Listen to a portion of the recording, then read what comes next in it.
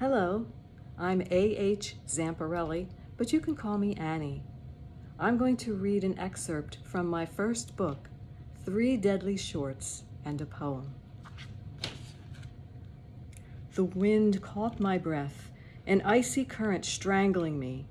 The front stoop swallowed my thick loafers, immobilizing me to the spot.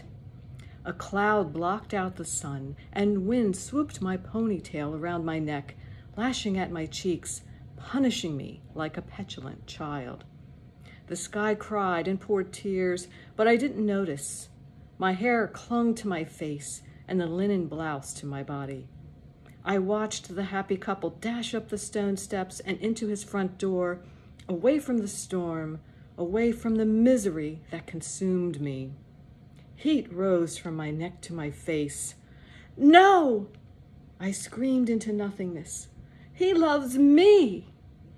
The wind whipped my words away. I stood there, staring at his front door, wiping away drops of rain now salted with my tears. He loves me, I whispered.